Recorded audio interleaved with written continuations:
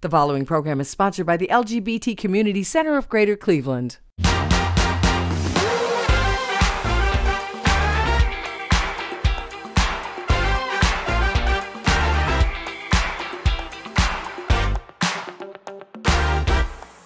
Welcome to Pride in the CLE on WKYC, presented by WKYC, Cleveland Public Theater, and the LGBT Community Center of Greater Cleveland.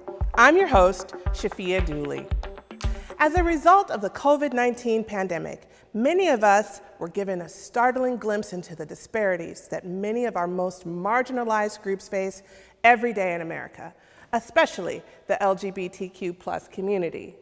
From socioeconomic inequality to the ongoing fight for liberation, justice, and civil rights.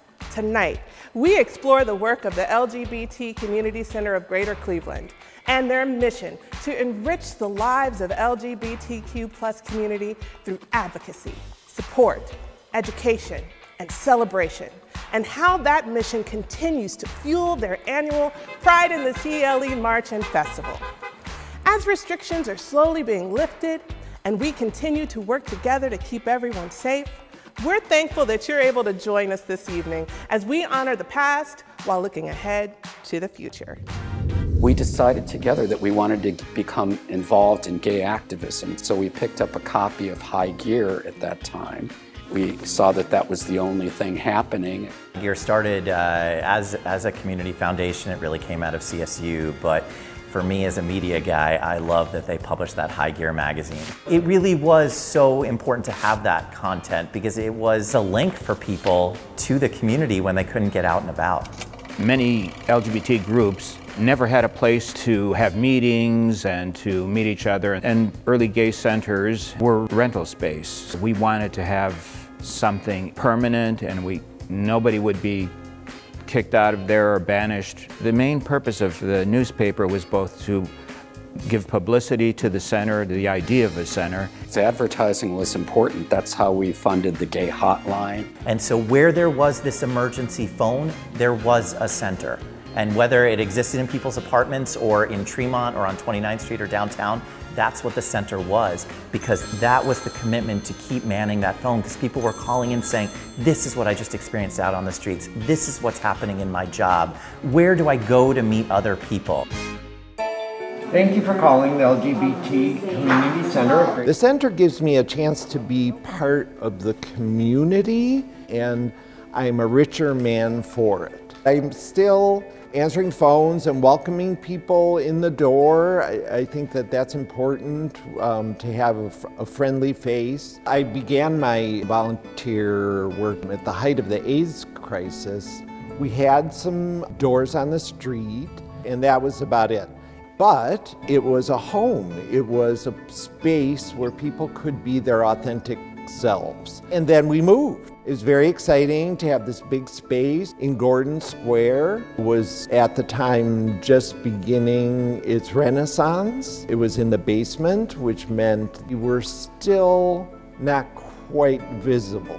I used to describe the climate as if the folks who had, you know, worked so hard to keep the doors open, that they were sort of shell shocked. They were in the basement and they were kind of hiding. There was a lock on almost everything. there was a lock on the refrigerator. There was a lock on the supply cabinet. There was a lock on the front door. You had to be buzzed in. And I just remember being in that space. I remember how warm it was. I remember like that there was coffee and there was just this like very it felt like going to someone's living room and hanging out with my friends. What I was thinking is that I could take the skills that I had as a nonprofit executive and bring them to the center, and along with some really amazing people who wanted more for the center and more for the LGBTQ community, I was able to do that. There was even more excitement when we got to watch this building being built creating a warm, comfortable, safe space here. In each step, you can see how the community itself is more organized, better funded, and more open. One of my friends asked me once, Do you think that we even need an LGBT center now? And I said to him, Are you nuts? Of course we do. It's overwhelming, I must say, to see so much support for the LGBT LGBT community today. Pride is about like you immediately walk in and there are there are your people and and they're saying hello welcome cleveland pride to me was always uh, one of the most joyous days of the year i just remember being like oh my god there's so many of us there are so many more of just what i knew the first Pride marches that we went to were relatively small, not more than 50 or certainly less than 100 people. First, we weren't even allowed to march in the street. We couldn't get a permit to have the street closed off, so we had to march on the sidewalk. Again, it all came down to the fact that uh, this was all relatively new and few people wanted to be exposed.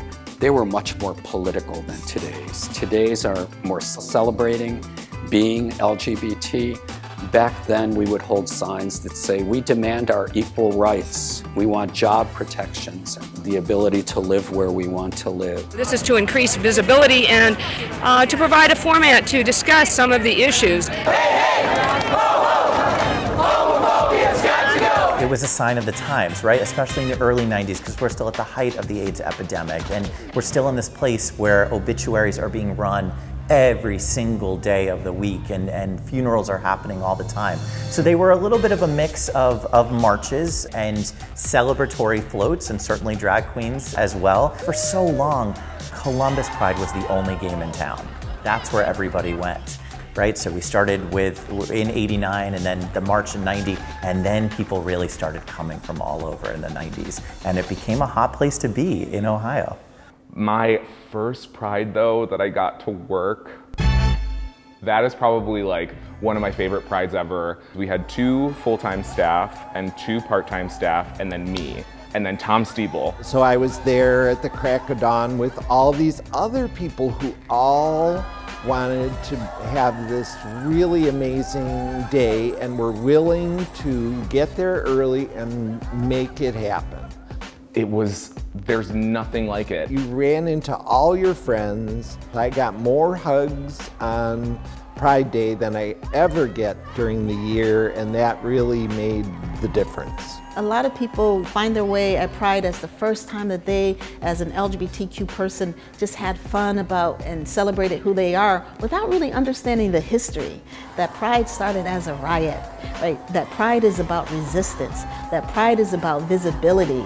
That Pride is about the fact that it is not over. We're still fighting for rights and respect and protections, legal protections that as a marginalized group we need. This is a movement. This is not a moment. It happens every year and I'm glad for it. But we are building. This is a movement that is building toward our freedoms.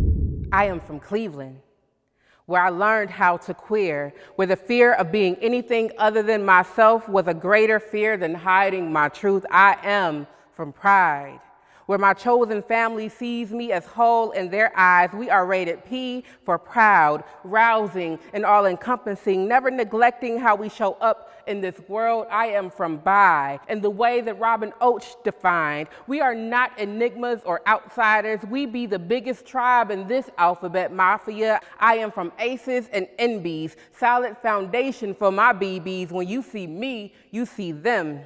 I am from disruptors and agitators, rainbow flags and leather, braving 216 weather, can't nothing stop this shine. I am from queer elders, the sage bearers, knowledge havers, the sacrifices made I benefit from to this day. I am from queer Cleveland beautifully complicated and underrated. BIFC isn't just a statement, it's a rallying scream, more than four letters, a come true dream. I am from Pride in the C L E.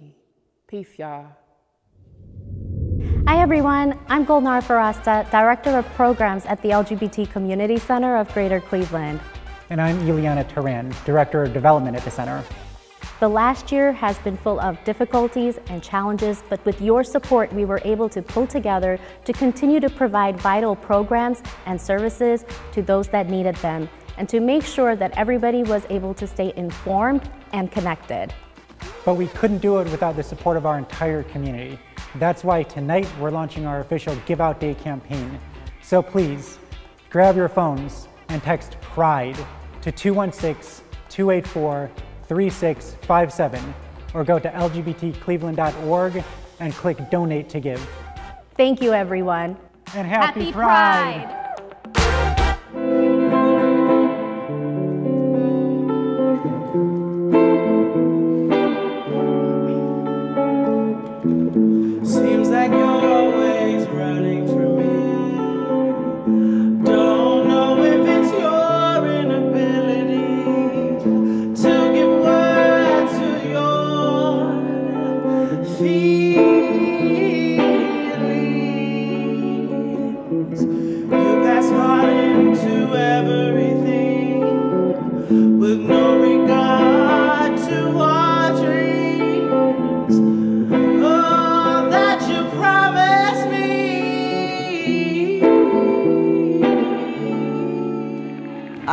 words that, you know, pride wasn't going to happen, and I said, I need to, we need to meet. Gonna hide it.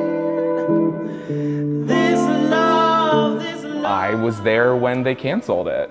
I was in the room with Phyllis and one other person when they said we are not doing Pride this year. This can't happen. What are we saying if we just had the RNC here, we just had the gay games here, and you're telling me we can't manage a, a pride event, an event that has been going on for years? The community wanted Pride to happen, the community needed Pride to happen, and the community made Pride happen. For every organization that existed to serve LGBTQ people here in Greater Cleveland, a representative showed up. And that's how important Pride is to our community. The city heard the outrage from the community when that happened and stepped up and made the process a lot easier. And it was in that room that we decided to call it Pride in the CLE. It was in that room that we decided it was going to be a march and not a parade. It was the most stressful 13 days of my entire life. It was going to be meaningful and it was going to be great and it was what the community needed. I'll never forget marching across the bridge that year. Who's Pride?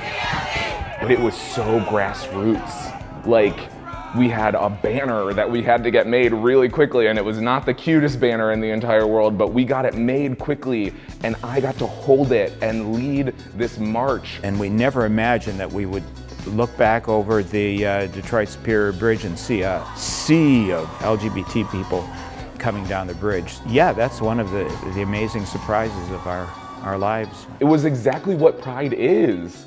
Pride has always been about a group of people saying that we demand to be visible. From that, we have been able to make Pride more inclusive.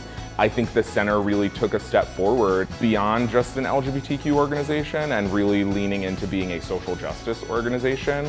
I really do think that we're seen as a leader, a leading organization being able to provide the most comprehensive services that exist at, the moment. And it's quite the story and it's part of our history here in Cleveland because pride absolutely matters to greater Clevelanders. We came out of 2019 with the biggest pride we've ever seen, and we had grand plans. And then COVID hit. We couldn't have the festival that we'd promised people. And that really hurt. But the community needed something, and that was a lesson that we'd taken away from 2016. It was innovative, it was groundbreaking, and it was also centered in the community and the needs of the community. So it was accessible, so people could watch from their homes, people could watch from the sidewalk, people could watch the live streams that we had, or they could drive in their cars or ride in a friend's car and participate that way. And we've been really proud to look around the state of Ohio and see many other Pride rides this year. And I hope that it's something that's continued every year. It was such a heartwarming and warming scene to see the community reminding members of the LGBTQ community that we're loved and we're, we're valued and we're welcomed.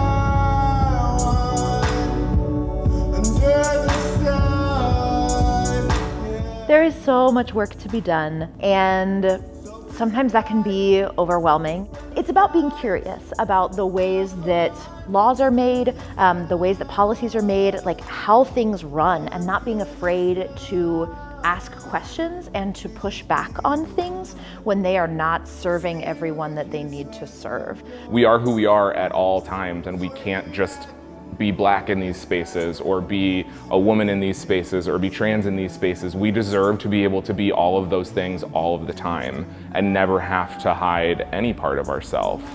I think a lot of it starts with those of us who have power and who are sitting at the table to look at the table and say, where is it that we're creating more space? And I think what a lot of people don't want to do, which is what is so needed, is to step the hell back from the table uh, and create more space. We're always going to have to be uh, fighting for uh, gay rights because there are always going to be these people who want to roll back all of these things, right down to just uh, gay marriage. But I do think that uh, we haven't changed as many minds and hearts as we need to. Because it's really how people interact with you that matters. And if they continue to disparage you or degrade you, um, you're going to fight back. We're never going to go back to the 80s, the, the way things were then. We're never going to go back to even the early 90s, where it took a horrific pandemic to make people see folks in the LGBTQ community, to really see us. At the same time, we're seeing this horrific attack on, on trans children, for, of all things. What it also tells all of us in the LGBT community is that we've made incredible gains and we are so strong that the only strategy for people who would attack us is those who are the most, most vulnerable. We can just push all of those barriers out of the way so that the, the youth especially can lead us to that next frontier, whatever that is. We continue to thrive, that we continue to build coalition, build trust, keep our allies close, educate those and inform those who would think to do us harm, protect ourselves, that we continue to support that we continue to advocate, that we continue to educate, and that we continue to celebrate who we are. What a magical evening. We want to thank our sponsors for tonight's event, WKYC, Cleveland Public Theater, and the LGBT Community Center of Greater Cleveland, and many others. Remember to visit lgbtcleveland.org for more information and for ways to get involved.